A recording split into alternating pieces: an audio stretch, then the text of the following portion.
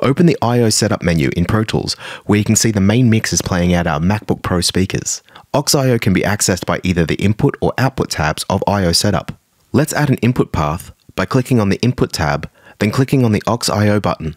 All of the available physical and virtual core audio devices appear in the list shown with their available inputs and outputs. Let's click on In for Pro Tools Audio Bridge 2A, which will provide us with a stereo audition path for SoundMiner, our sound effects database. Under the Audition folder, let's create a new stereo aux track, which we'll call Mon SM. Assign the input to the new path coming from Pro Tools Audio Bridge 2A. Since SoundMiner uses the default system sound output, we'll change the default from MacBook Pro speakers to Pro Tools Audio Bridge 2A.